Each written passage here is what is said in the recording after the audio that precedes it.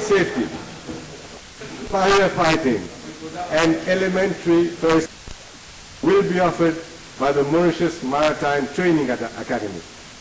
We expect some 500 young people to graduate from these courses every year. Finally, we need to ensure that workers can move to more attractive jobs without worrying about accrued rights. To ensure that pensions and associated benefits are fully portable, we will make the necessary legal amendments in the course of 2020. Mr. Speaker, sir, I spoke earlier about every sector of the economy having its own specificities. The micro and SME sector is one of them. In times of crisis, they are the most vulnerable. Rising competition, they have to relevant and profitable. Yet when they do succeed, they can make an irreplaceable contribution to the economy. SMEs produce 37% of our GDP. That is some 120 billion rupees worth of output. They give employment and provide a living to 250,000 men and women. And it is there that the culture of entrepreneurship takes root, grows, and democratizes the economy. We know the fast onset of competition from emerging markets, the crisis in Europe, and the sluggish global GDP growth can be very testing times for them. And their biggest frustration is facing up to this, in facing up to these challenges is access to finance. A number of actions have been taken in the past to address the issue of, of SME financing. The results have been limited at best. Admittedly, it is a tough issue to crack, but this government will not let up. Mr. Speaker, sir, on SME financing, we will break the mold. Today, we will support them where they are hurting the most by acting on the prohibitively high cost of credit. Interest rates of 14% and even higher are dangerously stifling the drive of, entrepreneurs. They are threatening the growth, profitability, and competitiveness of the SMEs. We need to remedy the situation. Others have tried and failed and failed, but we shall not falter and we will prevail. After protracted negotiations, the banking sector has agreed to the release of 3 billion rupees at an affordable interest rate of 3% above the repo rate, that is 8.5%. 8.5%. Alors nous prévenons cette mesure qui permet.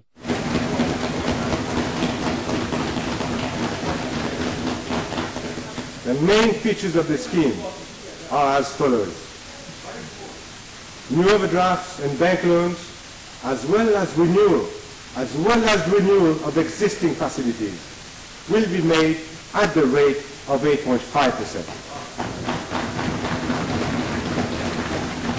All processing costs and related charges will be waived.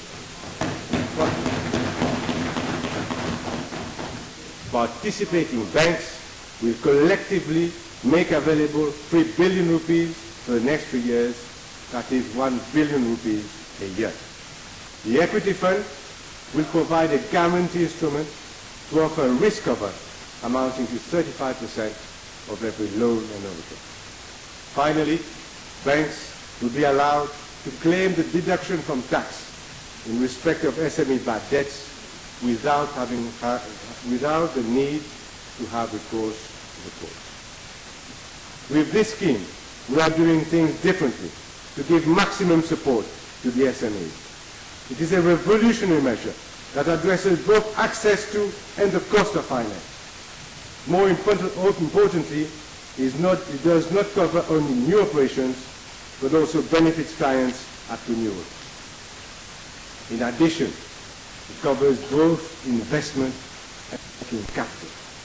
Furthermore, and this is important, no red tape or inordinate, or inordinate delays and no need to interface with government.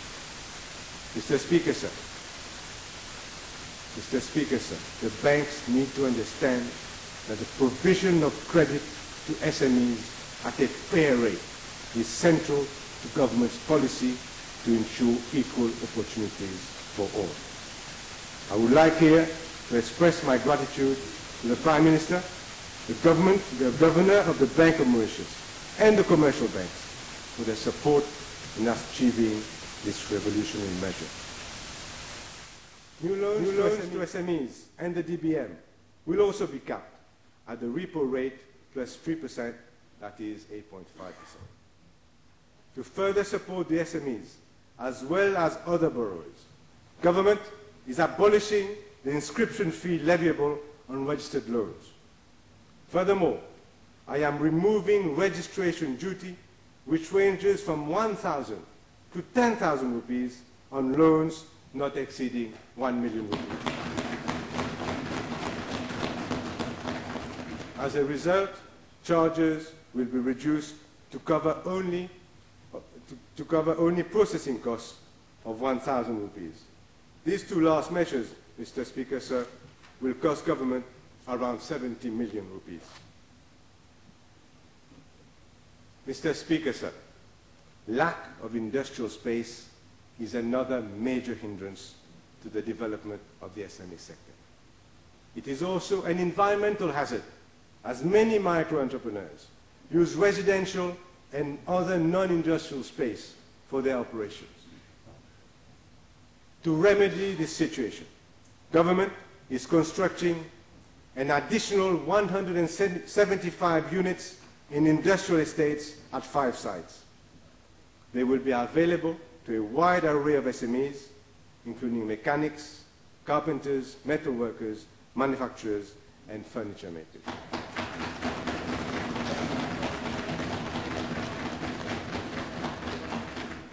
Size of the units will be at least 500 square feet.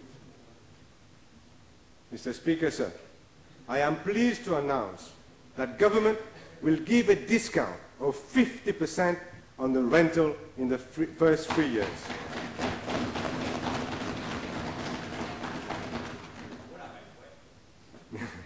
Mr. Speaker, sir, we want to give SMEs a fair chance to work on government contracts. We are amending the law to provide for at least two SMEs in the shortlist of restricted bidding for procurement of up to 5 million rupees. For low-value procurement of up to 500,000 rupees per contract, subject to restricted bidding bids, the Public Procurement Office will issue a directive to include at least one SME in the shortlist. The bidding documents will be simplified to ensure SMEs, to encourage SMEs to submit bids. Mr. Speaker, sir, I have also given some deep thought on how to support entrepreneurship generally. This is vital to democratization. Often, the lack of income for the entrepreneur in the first year of operation is the most serious inhibition to starting a business.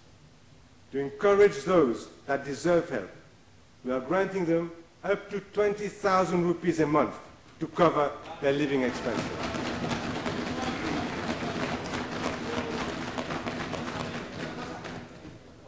They must have an innovative proposal approved by the Mauritius Business Growth Scheme.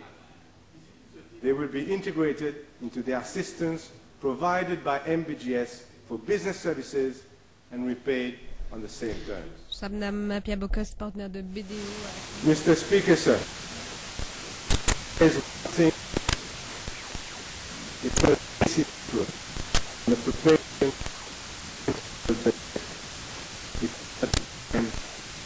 for those visions. Care for the worst and hope for the best.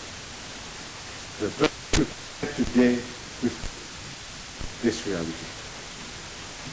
Going through the crisis, the responsibility of government is clear.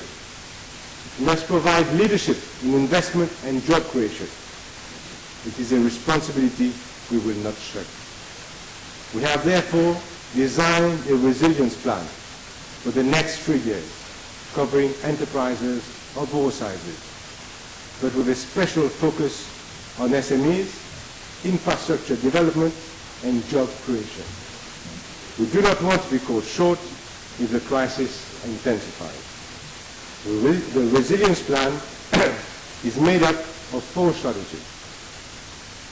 Mr. Speaker, sir, strategy one is to support enterprises at the microeconomic level. To this end, I'm committing 7.3 billion rupees to a national resilience fund.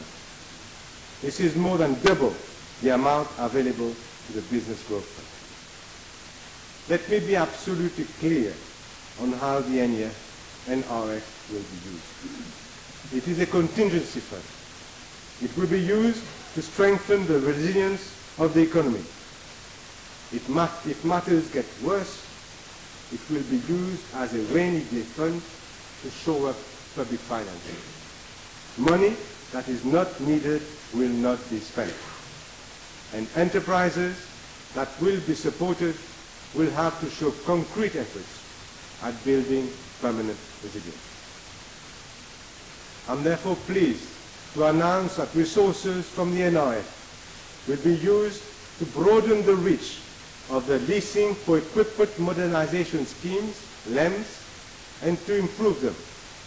We are maintaining the LEMS because they are successful, they are support enterprises. To this day, more than 300 enterprises have benefited, 56% of which are SMEs. I'm therefore extending all facilities under the LEMS to December 2012. And Mr. Speaker, sir, because of its successful record, I'm also extending LEMS to all industries, including traders, as long as their turnover does not exceed 50 million rupees.